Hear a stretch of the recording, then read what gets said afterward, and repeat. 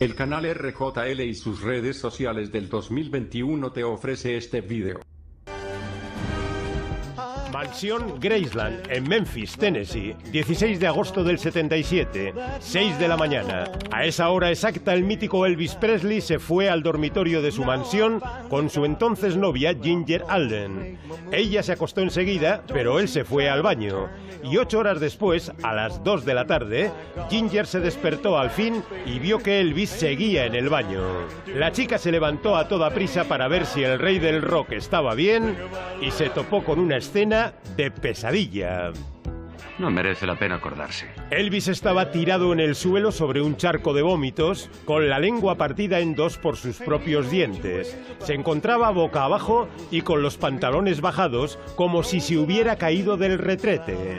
Y llevaba horas en esa postura porque la piel de su cara estaba negra, oscurecida por la sangre acumulada en las venas de su rostro al tenerlo pegado contra el suelo. De tan oscura que tenía la piel, los médicos del hospital pensaron que era un afroamericano y solo al comprobar su identidad se dieron cuenta de quién era la víctima. Eso es lo que quiero saber. Elvis Aaron Presley murió con 42 años de edad y con 120 kilos de peso, una cifra excesiva para un hombre que en sus años mozos no pasaba de los 70 kilos y aún estaba delgado cuando rodó sus 31 películas como actor. Pero en el momento de su muerte llevaba ocho años retirado del cine porque no quería mostrar sus michelines en la gran pantalla. Y la verdadera causa de su sobrepeso se desveló al hacerle la autopsia. ¿Está tratando de decirnos algo? Está insinuando algo. No sé a qué se refiere. Su autopsia reveló que aquella noche había tomado 14 medicamentos distintos. En su cuerpo había restos de estimulantes, tranquilizantes, barbitúricos, narcóticos, laxantes y hasta hormonas. Todo ello, por cierto, con receta médica. Pero es que, siempre con receta, Elvis llegó a tomar 37 anfetaminas al día. Y en los dos años anteriores a su muerte se calcula que tomó un total de 19.000 pastillas de todo tipo. Era un auténtico adicto a los fármacos y como era el rey del rock, siempre encontraba algún médico dispuesto a recetárselos. Pues casi. Los fármacos y el alcohol dispararon su peso y mermaron su salud, y así murió por un ataque al corazón desatado por la sobredosis de fármacos que tomó ese día para intentar dormir. Pero para comprender las adicciones del mítico Elvis hay que conocer los orígenes del mito. Estupendo, fenomenal.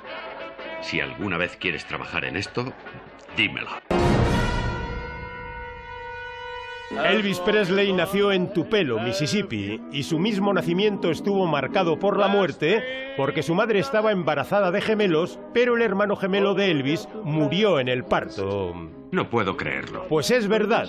El gemelo fallecido se llamaba Jesse Garon Presley y el propio Elvis nació 35 minutos después, con sus padres temiendo ya que también él naciera muerto.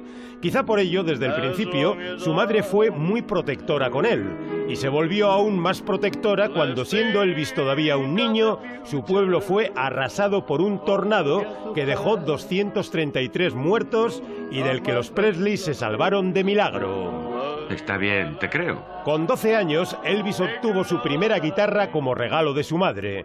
Con 14 años realizó su primera grabación en un estudio de sonido. Y con 20 años firmó su primer contrato discográfico. Antes, para llegar a fin de mes, fue camionero y taquillero en un cine. Pero pronto pudo concentrarse tan solo en la música porque su éxito fue fulgurante y escandaloso. Vamos a verlo. Buena idea. El joven Elvis desató el escándalo por su forma de bailar. Sus peculiares movimientos de cadera le hicieron ganarse el mote de Elvis de pelvis y se dijo que su forma de bailar incitaba al pecado. Y eso que con su estilo de baile tan solo imitaba a los predicadores de las animadas misas de gospel a las que asistía cada domingo. Pero aún así, por si acaso, la primera vez que Elvis actuó en televisión, los cámaras tenían orden de enfocarle solamente de cintura para arriba. Para que los espectadores no pudieran ver su pecaminoso meneo de cadera. His lucrative career as rock and roll king interrupted for a while, Elvis Presley begins his military service at Fort Chaffee, Arkansas. Con 23 años y en pleno éxito, le tocó hacer el servicio militar.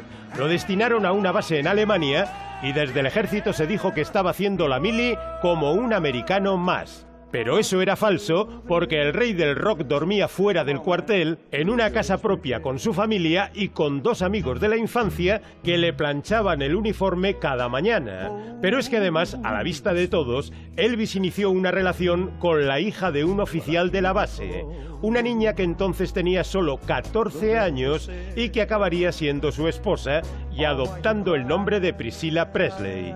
Me gusta tomar precauciones para hacer el amor. A mí también. Ya en su madurez, Priscilla rodaría con Leslie Nielsen la saga de Agárralo como puedas. Pero volvamos con Elvis para desvelar que en el ejército descubrió las anfetaminas usadas por algunos soldados para mantenerse despiertos en las guardias. Y de vuelta a Estados Unidos siguió usándolas cada vez más, convencido de que no era un verdadero drogadicto porque solo tomaba drogas con receta. Pero el chico tomaba tantas que acabaron provocando su declive. Sí, señor, y además está pasado de moda. El declive de Elvis fue muy llamativo porque cayó desde muy alto. En vida llegó a vender 600 millones de discos, ganando unos 4.500 millones de dólares. Pero derrochó su dinero a toda pastilla, con grandes gastos como la mansión de Graceland, con 23 habitaciones y un gran jardín de 14 acres, en el que Elvis ordenó instalar una gran fuente de la que salía Pepsi, que era su bebida favorita. Va perfectamente. De maravilla. Las bebidas azucaradas le ayudaron a engordar y a pesar de estar casado, se llevaba a sus fans a la cama de tres en tres. Debes tener muchas chicas. Muchas. Al final Priscilla se cansó y justo antes de pedir el divorcio se fugó de Graceland con el profesor de karate de Elvis. El cantante se sintió tan humillado que tomó todavía más fármacos y al final su cuerpo no pudo más.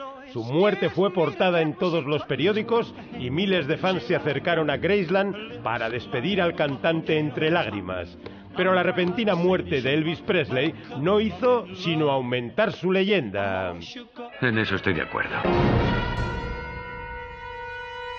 El legendario Elvis ha vendido después de muerto el doble de discos de los que vendió en vida, que ya eran muchos. Su mansión de Graceland es la segunda casa más visitada por los turistas en Estados Unidos, superada tan solo por la Casa Blanca.